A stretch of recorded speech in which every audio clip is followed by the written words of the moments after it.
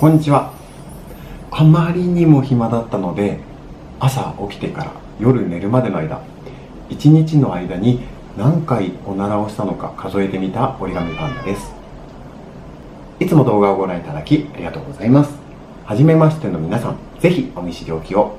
このチャンネルでは親しみやすいシンプルなものから超絶リアルでかっこいいものまでいろいろな折り紙作品を毎回一つ取り上げてご紹介しています。折り方の解説ではなくあくまでも作品を紹介する動画となっております。折り紙好きな方にはもちろん折り紙に詳しくないよという方にもサクッと気軽に見て楽しんでいただけるそんな内容になっていますのでぜひ最後までお付き合いください。さてさて本日ご紹介するのは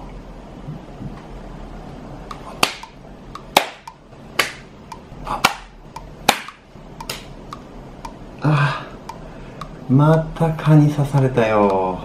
また蚊に刺されたよ。蚊に刺されたよ。蚊に刺さ蚊に。ジェイソン・クーさんの作品となります。この作品の難易度は5段階表示で4推奨の折り紙サイズは3 5センチとなっております。それではいきますよ。せーの。レッツパンダ。はいそれではジェイソン・クーさんのカニを折っていきます。まずは三角方向に折り筋をつけた後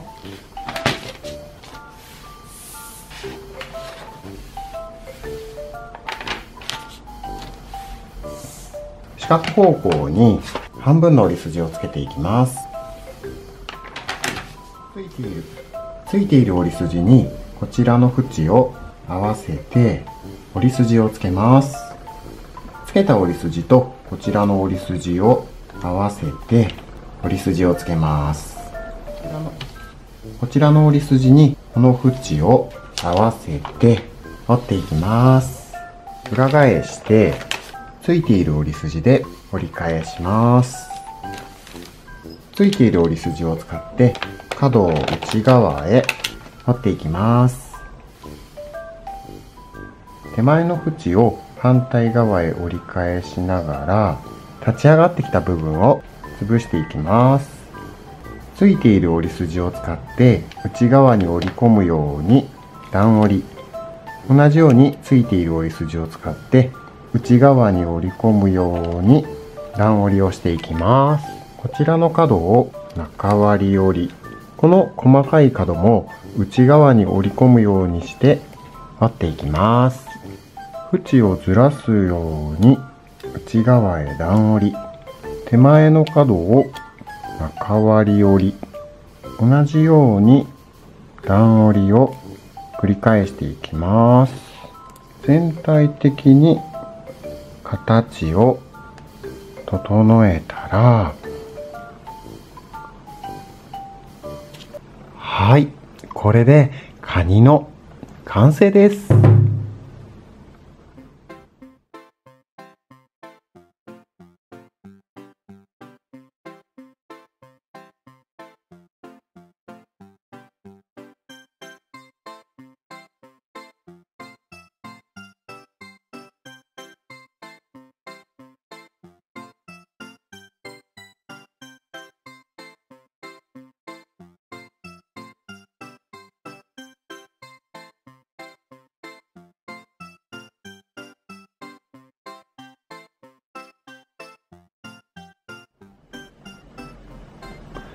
今回折りましたカニ。立体的な胴体とそこから左右に伸びる8本の足。さらに大きなハサミを持ったこの両手。たった1枚の紙からできているとは思えないくらいにたくさんの角を折り出された作品。紙の両端の部分から複数の角を折り出すその代償として紙の中心となる胴体部分はどうしても縦長の間延びした形状になりがち。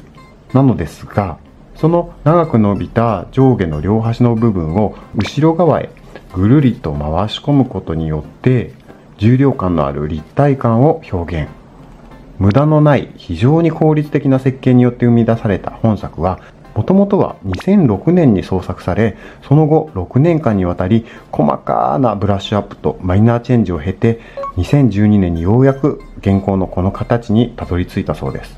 長い紆余曲折を経て完成したこちらのカニ非常に折りごたえのあるそして完成時の満足感も抜群の力作でした。作者のジェイソン・クーさんはアメリカ出身の方です。機械工学博士でありシンガポール国立大学の機械工学科専任講師である一方で折り紙 USA の競技委員代表を務められるなど非常に多方面でご活躍なさっています。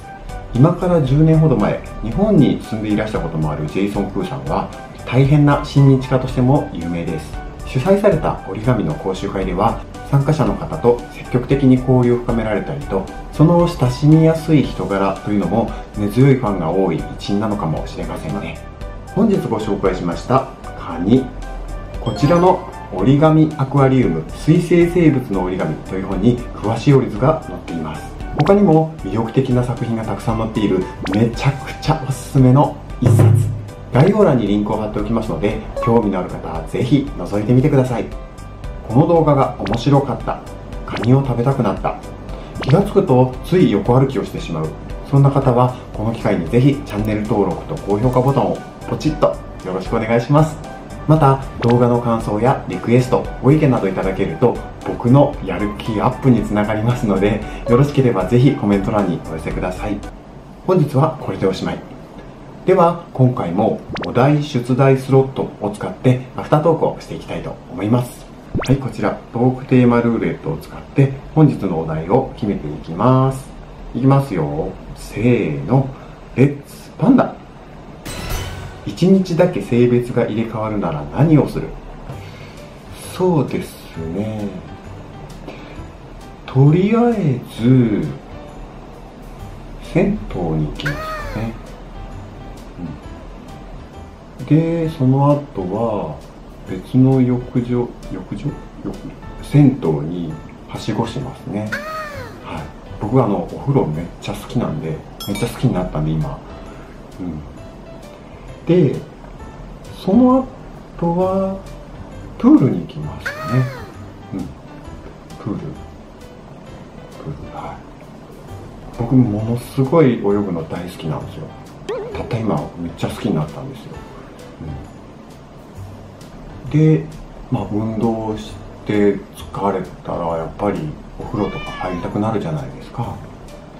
で、まあ、プール行ってからの銭湯な感じですかね。という、まあ、冗談は置いといてマジレスするとなんだろうな。シンプルにあのエステとかネイルサロンとかね。どんな感じなんかなっていう興味はちょっとありますかね。うん。いや難しいなこれ。性別が入れ替わるってことは声の音域も変わるってことじゃないですか。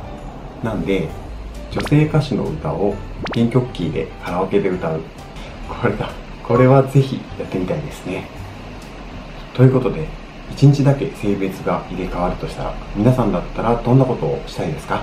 よかったらコメント欄で教えてください、え本日も最後までお付き合いいただきありがとうございました。それではまた次の動画でお会いしましょう。折り紙パンダでした。またね。バイバイ。